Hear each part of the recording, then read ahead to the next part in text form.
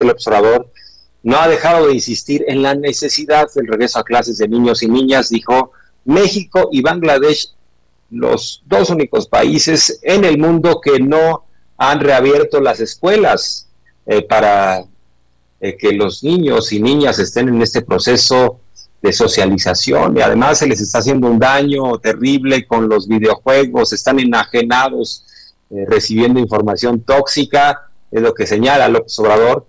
Y bueno, le preguntaron, oiga, pero no deben ser vacunados antes de regresar. Dijo, en el caso de los demás países en el mundo, todavía no vacunan a los niños y ya están en las escuelas y no podemos perder un año más de educación.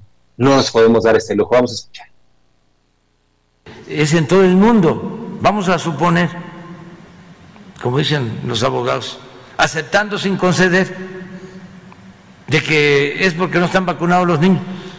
En el mundo no están vacunados los niños. Y México,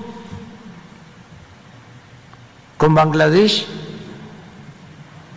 es el país que lleva más tiempo con las escuelas cerradas.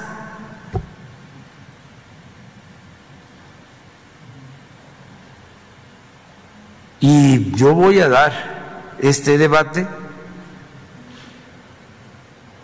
Y no me importa que la mayoría esté pensando en no regresar.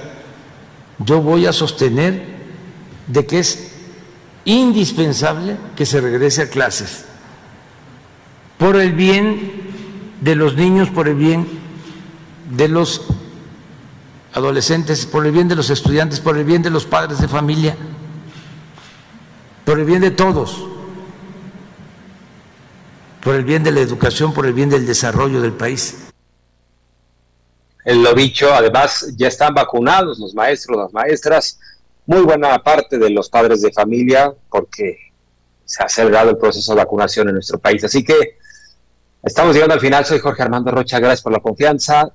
Los dejo con Toño Ruiz, ya llegan unos minutos y a las 3 eh, de la tarde, eh, de, más de 3 de la tarde, Toño Ruiz, mi estimadísimo, y a las 7 de la noche, el gran Vicente Serrano, y gracias a mi estimada Cecilia, a David, a Monse, a Madame Kika, a todos los que hacen posible el programa. Yo soy Jorge Armando Rocha, me siguen en Twitter si es que lo quieren, eh, como arroba Rocha Periodista. Así que muchas gracias por la confianza y muy buenas tardes.